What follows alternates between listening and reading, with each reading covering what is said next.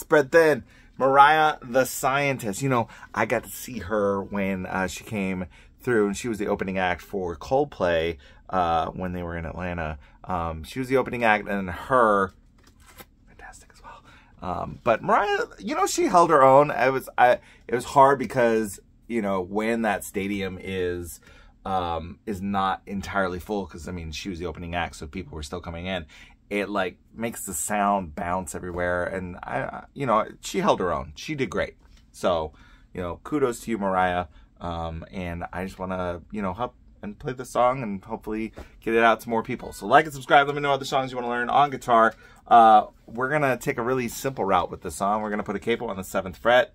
Um, and we're going to do this little, okay, it's a G6, 3, 2, and then 0, 0, 0, 0. If you need help reading the numbers, by the way, there's an Instagram post in the comment section. I hope you will go check it out and then uh, follow me there for more content, okay? A major 002220. Okay? Uh, and then we're going to do what's called a D major 9. We're going to put our fingers on, or you can either do what I'm doing in half bar, half bar, that second fret uh, at the G string down. Okay? or you can put individual fingers on it. Uh, and then B minor 224432. Okay? And then that's it. Uh, if you can't do that, just skip out uh, on this part here. Just go 4432, right? Because we really just want that high part. Okay, everything else is superfluous. All right, so G6.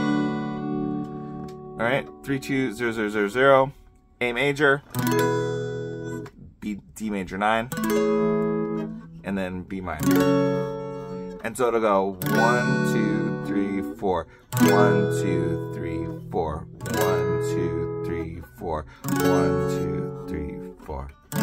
Okay, so and you're just strumming. It's like a whole note. You're just strumming a whole note for that measure, and then moving on to the next chord. Two, three, four two, three, four. All right, that's it. Lovely. It's a great song. So, uh, kudos to you, Mariah. I hope you're doing well. Uh, and, uh, um, you know, everybody else, like and subscribe. Check out some of the videos. I'll see you next time. Bye.